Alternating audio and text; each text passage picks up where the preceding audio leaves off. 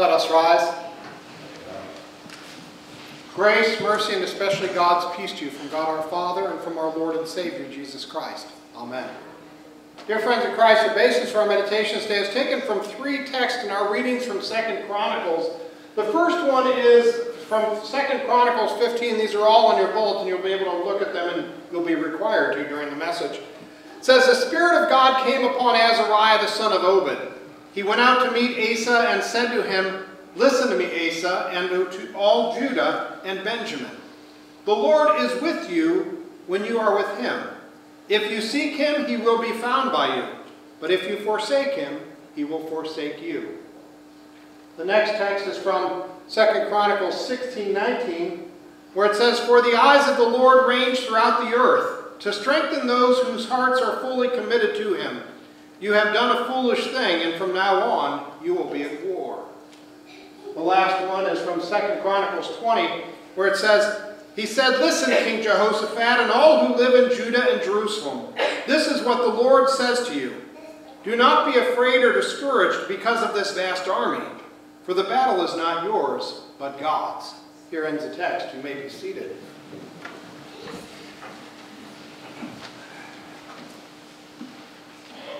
There are a couple other readings today that I just love for in the in the lectionary series that we read every Sunday. They're great readings. Uh, 1 Peter 3 with 315, always be ready to give reason for the hope that lies within you, but do it with gentleness and respect. And then that text which said Old Testament, but is actually the New Testament readings from the book of Acts that we go through during this period of the church year. Where Paul is at Mars Hill, or at the Areopagus. And it's interesting because the, that text ties so well with our society today and with what this, what this message is all about. That text, if we'll recall it, I wanted to read it for hearing again. It says, Now, excuse me, now while Paul was waiting for them in Athens, his spirit was provoked within him when he saw that the city was full of idols. So he reasoned in the synagogue with the Jews and the devout persons, and in the marketplace every day with those who happened to be there. Some of the Epicurean and Stoic philosophers also conversed with him, and some said, What does this babbler wish to say? Others said, He seems to be a preacher of foreign divinities, because he was preaching Jesus and the resurrection. And they took hold of him and brought him to the Areopagus, saying, May we know what this new teaching is that you are presenting for you bring some strange things to our ears. We wish to know, therefore, what these things mean. Now all the Athenians and the foreigners who lived there would spend their time in nothing except telling or hearing something new. And so Paul, standing in the midst of the Areopagus, said, Men of Athens, I perceive that you are very, that in every way you are very religious. For as I passed along and observed the objects of your worship, I found an altar with this inscription, To the unknown God. That text fits so well with our society today. You see, we live in a society that has many gods, and where people are, are, they become incensed if you tell them something different. We live in this entitlement mentality where people believe that if they believe it, it's right, and you shouldn't be able to confront them on it. You shouldn't have to. They have the right to believe what they want to believe, and it has inculcated its way even into the church. That's why in this text, when it begins with Paul, it begins with, he saw this going on in Athens, and where did he first go? He went to the synagogue. He went to the people who claimed to be the people of God and started with them, reminding them of what God's message truly was. You see, this entitlement mentality we have sometimes in the church today, and sometimes even in, in, in, the outer world, are the people who want to say that they are Christians, they, they follow Christ. They say, well, God has to love me no matter how I am. After all, God loves everybody, doesn't he? The title of this message is, Doesn't God Have to Love Me? And the answer to that is, no, he doesn't. There's no reason he has to love you, but God does love you. His love is unconditional. He loves us despite the fact that we are sinners. He loves us before we were even born, he loved us. He loved us from the creation of the world His love cannot be changed by your circumstances. His love for you as is unconditional really means that. It's without condition. He loves you in spite of yourself. But the question is not whether God loves us. The question is, is our love unconditional for God? That's a whole different question. And one in which our society is really failing at, and we have to be careful in the church of this as well as in the society outside, because do we love God only if He agrees with me? Do I have a problem with God if He says something and I go, well, no, that's not the way it should be?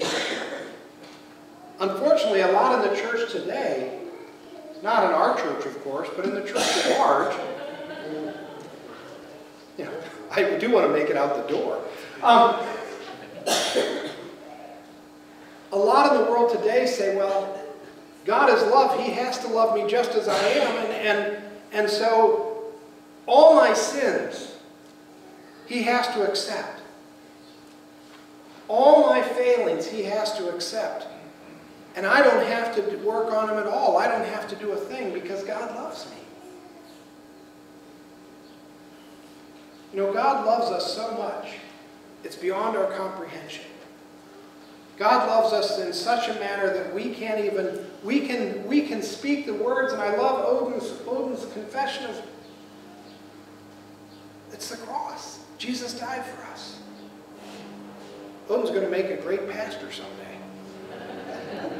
That's what you say to confirmands when they're really unruly and you scare, scare, scare them to death. He'll be a great pastor someday. But the answer is, is, is our love of God has to be unconditional as well. That we love God despite where we are in our lives. That we find ourselves in sin and God says, I don't like that, and we still love God. God says those actions are, are, are dangerous. We still love God. Trials and tribulations happen in our lives and we still thank God for them. Even the struggles, even the difficulties, we thank God for them. We thank Him in all circumstances. Paul, when he's at, Mars Hill, the Areopagus, he's provoked in his spirit. He's upset by this, but he doesn't lash out and, and, and try to figure out to blast these people. He finds a way to reach them they understand. You see, he know God, he knows God loves him too. And so when he gets the opportunity presented to him, he doesn't say, you bunch, you bunch of fools, you don't understand anything. He goes, it's obvious you're a very religious people. You even have an altar to the unknown God. Let me tell you about him. You see, in our text today, we talk about God's presence. That's in that first text in, 2 Chronicles 15.1. The Spirit of God came upon Azariah. He went out to meet Asa and said to him, Listen to me, Asa and all of Judah and Benjamin. And I want you to underline this portion in your, in your text. The Lord is with you when you are with him. If you seek him, he will be found by you. God's love is unconditional. He loves us beyond matter, all matter, but He is with us when we seek Him. We think of the story of the prodigal son, where the son goes off and wastes his inheritance in, in riotous living, as the scriptures say. His father doesn't go with him. His father waits for him. He watches for him. His love for his son is still so great that he waits expectantly for him. But he doesn't go with him. God loves you beyond all measure. But he won't walk with you into sin. The second part of that text, which you have to underline too. But if you forsake him, he will forsake you. If we walk away from God, he will strive to get us back He will strive to call us home. But if we abandon Him, He will let us go. That's the saddest part. God doesn't abandon anybody, but they walk away from Him. To me, the saddest story in all the scriptures, there are two. There are two, they're both in the New Testament. The one is a rich young ruler who comes to Jesus and said, I would follow you, and, the, and I've followed all the commandments since I was a child. And Jesus looked at him and loved him, and he says, And one other thing, go and sell all you have and give it to the poor and follow me. And the rich young ruler walks away from God sad because he couldn't do that. The other story was our reading from a, a week or two ago, the Emmaus disciples. Who the day of the resurrection are walking away from Jerusalem. And when Jesus walks with them, he talks with them and they say, Don't you understand? We heard, we followed this man and we heard that he raised from the dead. And yet they're walking away. Jesus risen from the dead. You were a follower. You hear he has risen from the dead. Wouldn't you stay and see? Wouldn't you stay a day? And instead we find them walking away. We forsake God when we know what he says to do and we walk away from it. We forsake God when we know what he would have us to do in our lives and we ignore him.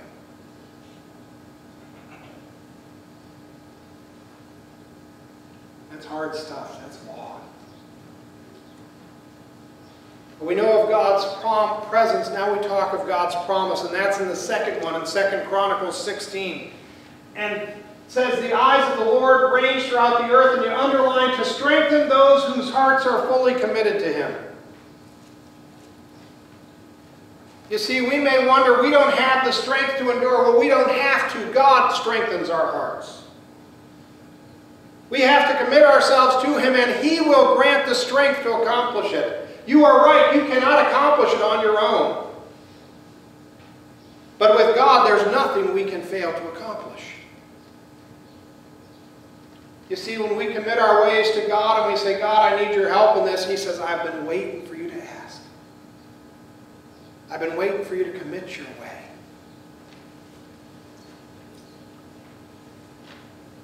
The third one is often what we forget, that this is God's world and the battle is His.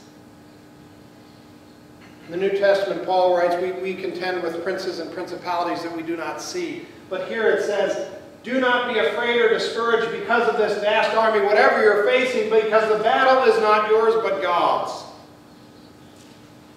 You see, when we look at ourselves and we say, I can't do it, I'm going to give up, we've forgotten who's in our corner. We have forgotten who is, who is going out to battle for us. We have forgotten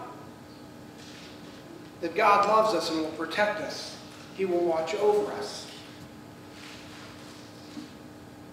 We go back to God's love now and we say, God's love is so great, so great that He sent His Son.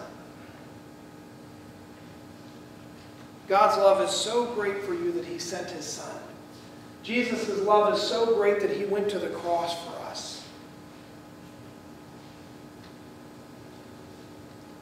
Although we don't deserve it, although we are totally sinful and, and without, without justification in God's sight, by our own merits. Jesus Christ dies upon the cross for our justification. We may be declared right with God. Does God love us? He loves us beyond all imagining. He would send His Son. Jesus, the second person of the Trinity, loves us so much that He would go to the cross for us. He would die for us. He would endure separation and alienation from God for us on, that we, our sins might be covered. And the Holy Spirit loves us so much that He dwells in us. We have a spark of the divine within us. First of all, we are made in the image of God, but secondly, we are promised that God has poured His Spirit into us. You see, God loves us beyond all measure, beyond anything we could imagine. He loves us so much that he doesn't want to leave us in our sinfulness. He loves us so much that he wants better for us. But he loves us so much that he will let us make our choices. Perhaps you have a child and that child has made choices at times which you didn't agree with. They've walked away and they, they haven't they haven't they haven't honored the, the decisions that you would have them to honor. Sometimes you lose track of them, you don't even know where they're at.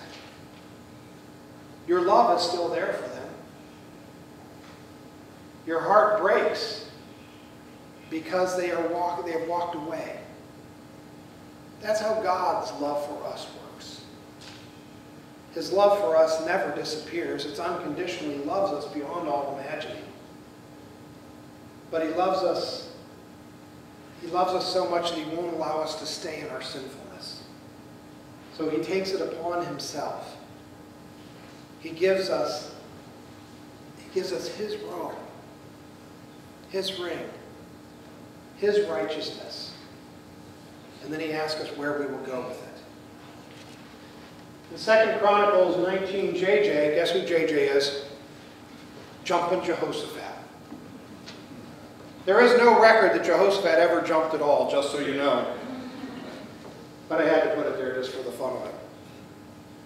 But in 2 Chronicles 19, Jehoshaphat asks this question of the Israelites. You see, the Israelites have, have taken upon themselves the foreign gods. They have decided that they are going to serve who they desire to serve and do what they want to do despite what God would say. And I love this question because it says, should you help the wicked and love those who hate the Lord? It's a condemnation question for Jehoshaphat because not that we shouldn't help those who are in need, not that we shouldn't love everyone, but he says, should you help them and love those who hate the Lord more than you love God and serve Him?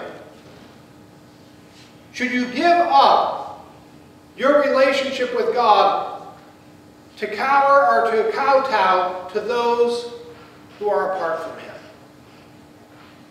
This is the struggle we face in our society today. This is the struggle that Paul faced in Athens. How do I proclaim God's word faithfully in a generation that doesn't want to hear or won't believe? The answer is only if we remember that last Chronicles one that's on your page, that the battle is not yours, the battle is God's. He is the power by which we work. He is the focus of all of our strength. And so when we come to the end of this, normally I'm supposed to end on gospel, and I will, I'll try. The good news, God loves us, forgives us, all that. But the question is, how about you? Are we striving to please someone? Are we striving to serve someone who is drawing us away from our relationship with God? Are they asking us to compromise something that God doesn't love? Are they asking us to put a question mark, as the one thing says, where God puts a period? You see, we serve a living God who loves us. We serve a God who calls us into a relationship, who blesses us through that relationship. And if we find someone who says, no, you have to give up what you believe to be with me, that's a choice from temporal to eternal. And will we settle for the temporal when God has given us eternity? Will we deny that which God calls us to do to serve that which the world says is correct?